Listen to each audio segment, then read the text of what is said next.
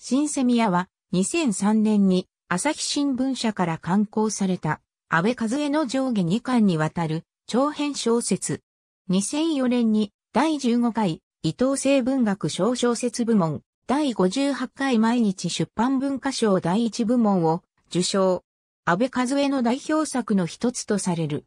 安倍和恵の出身地である山形県東根市陣町を舞台に町と一族の歴史を描いた物語であり、50人を超える登場人物が交差する群像劇である。1999年から朝日グラフで連載を開始し、その後、朝日グラフが休刊したため、小説トリッパーに移り、4年かけて完成させた。この小説は、神町を舞台とした日本にア日本、芥川賞受賞作である、グランドフィナーレと連なる神町サーガの中心的物語である。ガルシア・マルケスの100年の孤独や、ウィリアム・フォークナーのヨクナパトーハサーガの影響も指摘され、書評家によっては、大江健三郎や中上健治などの大家の作品とも、並び称されることもある。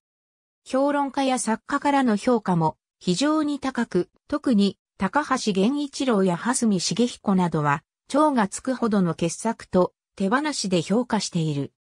戦後新中軍に取り入り、町の経済を牛耳ってきた、パンの民や創業者一族で、町の名手である民家と、民家と共に町を地下経済から牛耳ってきた、ヤクザである麻生家。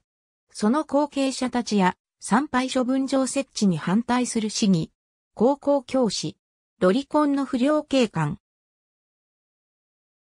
街中に盗撮カメラを設置しスパイ活動する盗撮集団など、人町を舞台に様々な人間の欲望が交差する。ありがとうございます。